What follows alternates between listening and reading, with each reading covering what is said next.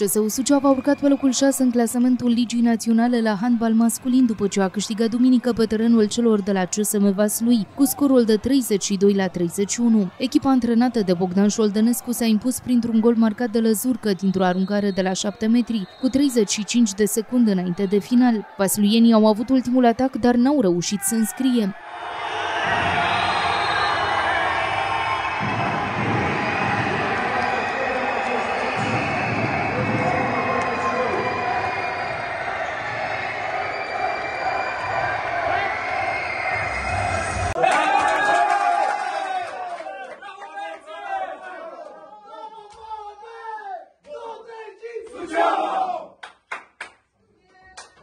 În cadrul etapei a noua din Liga Zimbrilor s-au mai înregistrat următoarele rezultate. CSM Sighișoara Dinamo București 25 la 29, Potaița Turda Politehnica Timișoara 42 la 29, CSM Constanța Universitatea Cluj 29 la 26 și HC Buzău Steaua București 34 la 30. Etapa va continua cu meciurile CSM București, CSM Bacău și Minaur Baia Mare, CSM Focșani. CSU Suceava va juca în următoarea etapă cu CSM Constanța joi 9 noiembrie de la ora 17.30 în sala Dumitru Bernicu a liceului cu program sportiv Suceava.